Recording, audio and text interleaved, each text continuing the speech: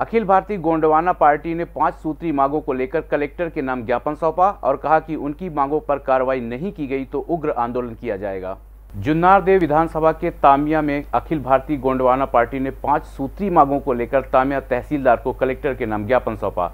गोंडवाना छात्र यूनियन की जिला अध्यक्ष देवी रावेंद्र भलावी ने कहा कि भैया जी सरकार पातालकोट आए थे, वो आदिवासियों की संस्कृति के साथ छेड़छाड़ कर रहे हैं। उन्होंने तामिया क्षेत्र में फ़सल की क्षति का मुआवजा दिलाने आदिवासियों की ज़मीन से कब्जा हटाने वन भूमि का पट्टा दिलाने और जुआ सट्टे को बंद करने की मांग की है।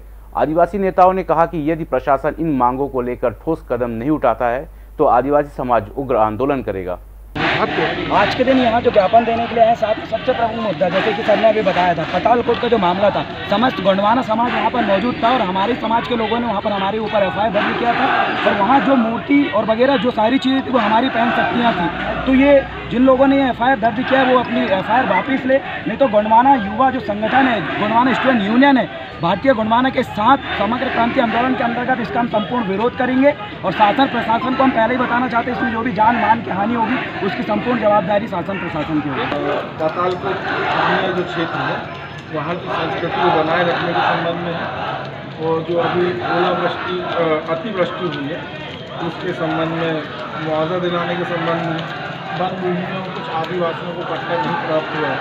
उन्हें पट्टा चाहिए और और भी छोटी छोटी जो लोग स्थानीय समस्या है? ना रेत का हुआ सबके ज़िले का हुआ इस तरह की चार पाँच भैया जी सरकार को भैया सरकार का विरोध कर रहे हैं इसके बारे में आप बताइए वो क्या कहना है आपको?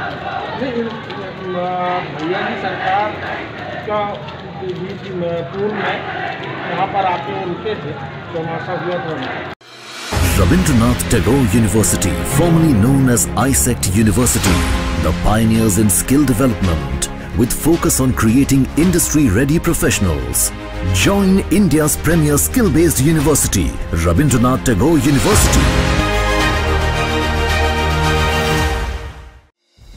संगीत की स्वर लहरियों से सांस्कृतिक ताने बाने तक चंबल के पीड़ों से नक्सलवादियों के गढ़ तक झोपड़ी से महलों तक ठेलों से मेलों तक पगडंडियों से सड़कों तक गाँव से शहरों तक व्यापार से उद्योगों तक। राजनीति से कूटनीति तक। दखन न्यूज़।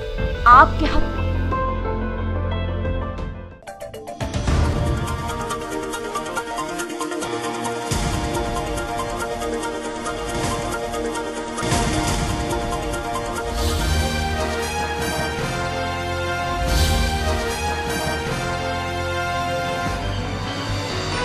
आप देख रहे हैं दखल न्यूज़।